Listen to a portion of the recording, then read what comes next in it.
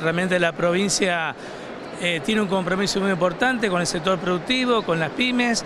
Y del sector industrial pyme estamos acá presentes porque creemos que, como dijo el gobernador, este, hay, que, hay que planificar, hay que proyectarse y creo que la Argentina que se viene de acá a dos años es una Argentina donde hay un panorama en cuanto al sector productivo de mucho desarrollo que viene de la mano del sector energético, minero y, todo, y todos estos sectores que arrastran y van a generar eh, miles de puestos de trabajo y, y miles de pymes nuevas que se van a generar a partir de todo este desarrollo que va a haber en la Argentina. Y la provincia de Buenos Aires es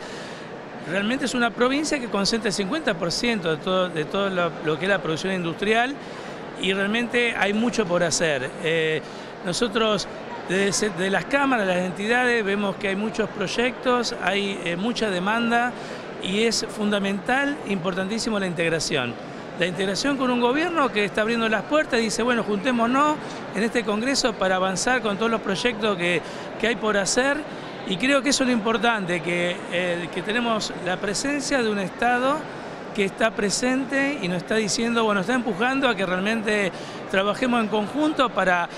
eh, generar más desarrollo, más fuente de empleo y bueno, y ahí estamos, ¿no es cierto? ¿Cuál es el fortalecimiento que hoy brinda el gobierno provincial para las pymes? Bueno, a través del Banco de Provincia Acá en este congreso están anunciando realmente herramientas muy interesantes que tienen que ver con todo el financiamiento para nuevos proyectos industriales. Está participando el CFI, las, este, las empresas, digamos, los organismos de garantía recíproca que eh, realmente están, eh, es muy bueno porque vemos que ya em, se han consensuado proyectos